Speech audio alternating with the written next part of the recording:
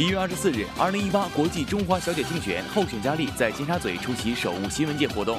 会上，除了上届冠军得主于思婷和二零一七年香港小姐冠军雷庄儿出席外，还有电视台高层乐以玲和于永山等人也出席了今次的见面会。今届佳丽的年龄介乎于十八岁至二十六岁，当中大部分都是在校学生，他们均以低胸裙装扮一一走台亮相。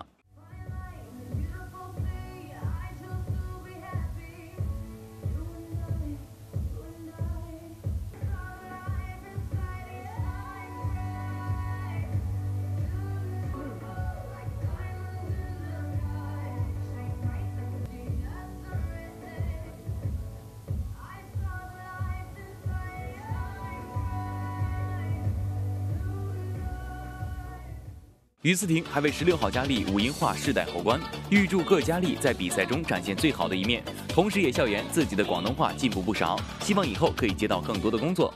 这一年真的就是很认真的在啊练习我的广东话，然后希望可以哎广东话好一点，然后接到多一点的工作。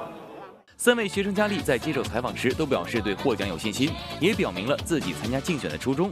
我希望能够在这样一个向世界展示的舞台上，和来自各国的佳丽们一起，啊，我们相互交流，可以分享经验。这样的话，我可以带回去菲律宾，为宣扬这个中华文化也能够，啊，我们，做贡献。